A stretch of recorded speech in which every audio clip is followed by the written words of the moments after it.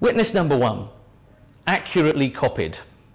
Lots of people say things like, well, the Bible's changed over the years. It's, it's, just like sort of Chinese whispers. You know, a kid whispers a message into another kid's ear and they pass it all the way down the line, and at the end of the line, you've got a different message to the original one. Now, it is true that we've, we've never seen an actual hand written document of Moses or David or Paul or, or any of the other Bible writers. We don't have the original, often called a, a, an autograph copy. But there are some very good reasons why we can be sure that the Bible we have now is an accurate reproduction of the original. In other words, what we read is what the author wrote. Look at this diagram, for instance. This is how it works.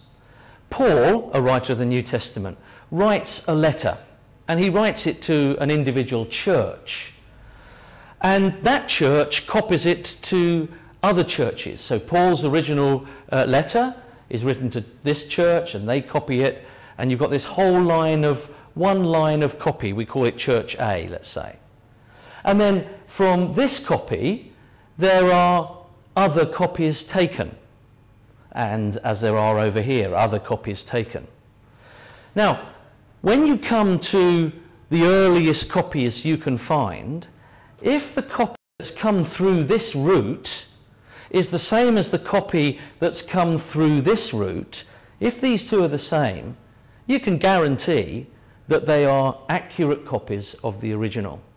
And that's what we've got in the Bible. Let's think about the first part of the Bible, the Old Testament. Now, to listen to many people talk, uh, you'd get the impression that the scribes who copied uh, the Old Testament scriptures out sort of did their work at odd moments and with half a mind on their task. But the Jewish scribes had remarkable rules about copying. The size of the pages or the size of the scrolls, uh, the size of the columns, spaces between the words and the letters, um, rules about the colour of the ink, uh, rules about you could only copy from an authorized manuscript and you couldn't deviate from that manuscript in the, in the least bit. So no word, not even a letter, not even what they called a jot, a little dot of a letter, uh, was to be written from memory. So for instance, um, uh, if they were writing out, in the beginning God created the world, they wouldn't write that sentence out from memory as we would. In the beginning, God created the world, and then we'd look down and write it out.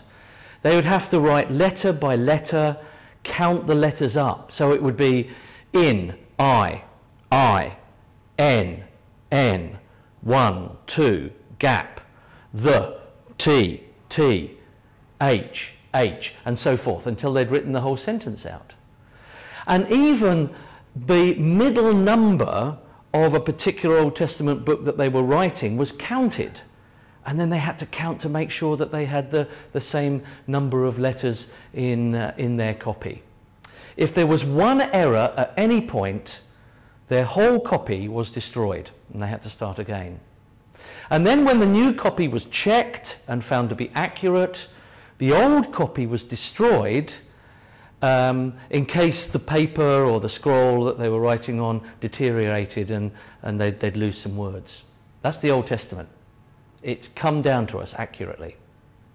The New Testament, let's have a think about that. Now, the early church didn't copy the New Testament out under the same rules as the Jewish scribes, but there are two reasons to show that we can trust the New Testament manuscripts. The two reasons are this.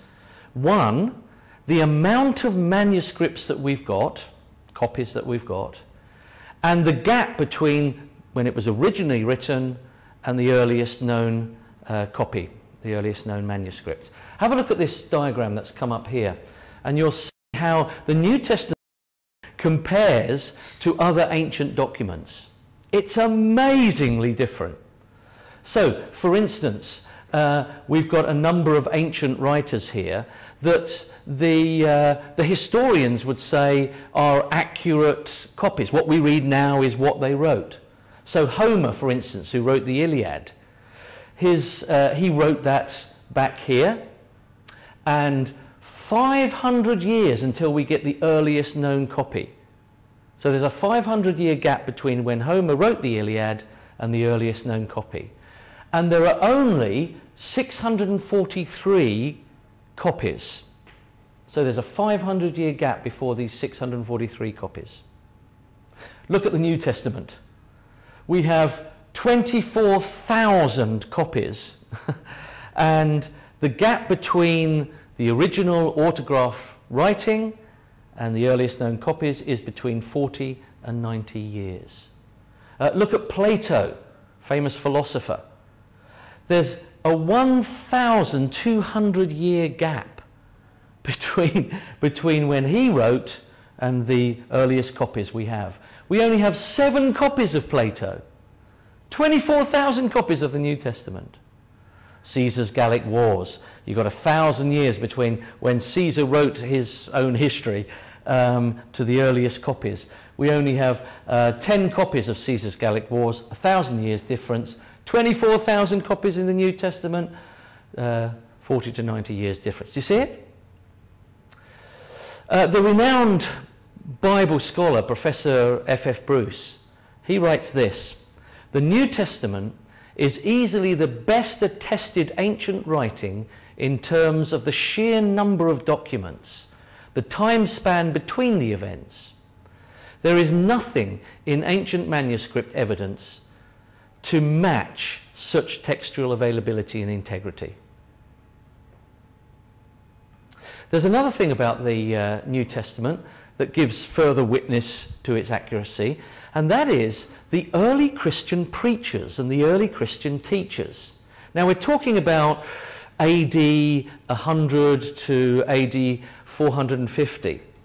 Did you know, for instance, that even if we didn't have any of the 24,000 documents of the New Testament, you could get the entire New Testament from these early church pastors, early church writers, from their writings except for about 15 verses, you've got the entire New Testament, because they wrote it out in their books. Uh, Sir, Frederick, Sir Frederick uh, Kenyon, who was the former director and principal librarian of the British Museum, one of the foremost experts on ancient manuscripts and their authority, shortly before his death, he wrote this uh, concerning the New Testament. Uh, he said both the authenticity and the general integrity of the books of the New Testament may be regarded as finally established.